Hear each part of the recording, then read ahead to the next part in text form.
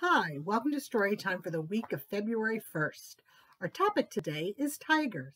If you'd like a tiger craft, you can pick it up in the children's room while supplies last. If you have any questions, please give us a call at 973 538 6161. Our first story is called The Tiptoeing Tiger. Everyone in the forest knew that tigers were sleek, silent, and totally terrifying. When a tiger prowled through the forest, everyone found other places to be. But no one took any notice of little Tiger. No one jumped when he roared. No one ran away when he tumbled through the forest. His brother laughed. Oh, little Tiger, you're too small and clumsy to scare anyone. I am not, said little Tiger. I'm sleek, silent, and totally terrifying. His brother smiled. I don't think you could scare a single animal in the forest. I can, said Little Tiger, and I'll prove it. Little Tiger began to tiptoe through the forest as silently as he could. Tiptoe, tiptoe, tiptoe. Roar! You don't scare me, yawned Boar. I could hear you coming a mile away. Bother, said Little Tiger, and he set off again to find someone else to scare. Tiptoe, tiptoe, tiptoe. Roar! Hello, Little Tiger, said Elephant. Did I scare you? asked Little Tiger. Oh, no, you're much too small. Drat, said Little Tiger, and he set off again to find someone else to scare. Tiptoe, tiptoe, tiptoe.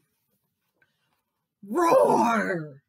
Was that meant to scare us? asked the monkeys, laughing. Yes, it was, said Little Tiger. The monkeys just kept laughing. Little Tiger felt sad. I may not be sleek, silent, or totally terrifying, he thought, but I will find someone to scare. Just then a frog jumped, splosh, into a pond. This is my chance, thought little Tiger. I can scare that tiny jumping frog. He crept silently up to the water's edge. Tiptoe, tiptoe, tiptoe. Roar! Oh, help! cried Little Tiger. Bravely, Little Tiger tiptoed back to the water's edge and slowly peered into the pond.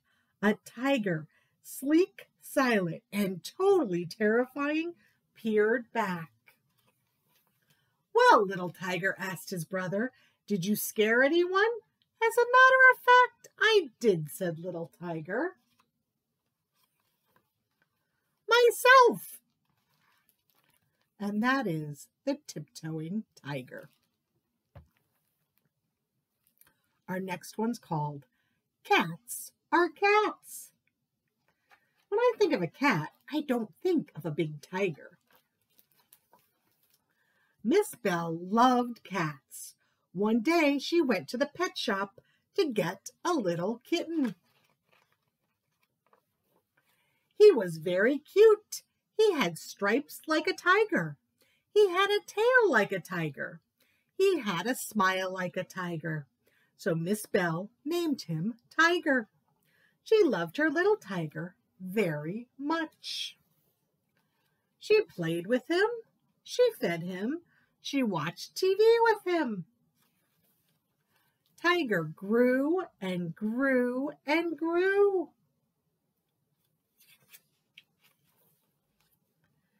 He roared a big tiger roar. Tiger took over the whole house.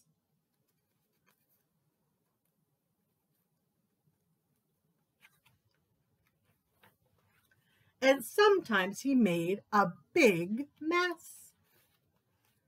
But he was still very cute, and Miss Bell still loved her tiger. Cats are cats, she said. One day they went for a walk. Tiger stopped at the pet store. Cats are cats, said Miss Bell. They love fish. Tiger was happy. He loved his fish. One of his fish grew and grew and grew. But she was still very cute. Fish are fish, said Miss Bell. I think that fish was a shark. And that is cats are cats. This one is I am a tiger.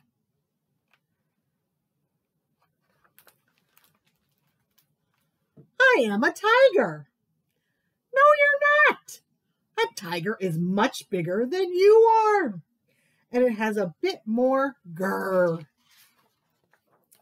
Tigers can be small too. Grr. Not that small. A and a tiger has stripes. Some do. This one doesn't. So there. I am a tiger. A tiger can climb a tree. Can you? I could climb a tree. I could climb to the moon if I wanted to. Most tigers can. I am a tiger. Go on then. Climb to the moon. I can't now. It's time for my lunch. A tiger hunts for its lunch. Grrr. I am a tiger. No, you're not. You're a ha hachoo. I am not a hachoo. I am a tiger. No, I am a tiger. Ha ha ha. You are not a tiger. You are a mouse. Look at look at your tiny twitchy nose. Look at your little hands and feet. I'll bet you had cheese for breakfast. I am a tiger. I can do this. Can you? How about this? Oh dear, you, sir, are definitely a mouse. I am a tiger. If I am a mouse, then what are they? Furry, stripy, funny looking face. This is a caterpillar. Long, red, likes to bounce. This is a balloon. Thin, pointy, hangs in a tree. This is a banana. Tiny, colorful, sits on a stick. This is a lollipop. Now, I really must be going. My lunch won't catch itself. What a silly old bunch. Gah! I'm not a tiger. How could I be so wrong? Look at those teeth, those claws, that tail. It's obvious.